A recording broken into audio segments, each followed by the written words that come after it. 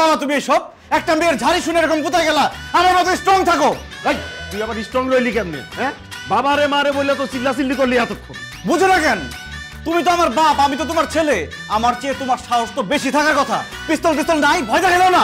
এই এই হারামজাদা আমি কি সন্ত্রাসী না ডাকাত হ্যাঁ? আমার কাছে পিস্তল থাকব কেন? দেখছ দেখছ? এখন দরকার পড়ছে না একটা পিস্তলের? আমি তো আগে এই লাইনে যাইতে চাইছিলাম। আমার যাইতে দাও নাই। এখন একটা পিস্তল থাকলে সব করে ফুটুস করে দিতাম। বাবা বাবা বাপে পুতে মেলে দেখি যাত্রার অ্যাক্টিং শুরু করে দিছে। বুঝছি এখানে কোনো কিছু হবে না আর সময় দেওয়া যাবে না। ওর ন্যায় হয়েছে আমার। এই বাবা আমার ছেলে না হয় দোষ করছে। কিন্তু আমরা মা বাবা হয়ে তোর দোষ করতে পারি না। না কিছু টাকা নিয়ে আসো যাও আরে যাও। মা তুমি একটু শান্ত শান্তই আছি পুরো টাকা নিয়ে আসতে বলেন। সময় নেই।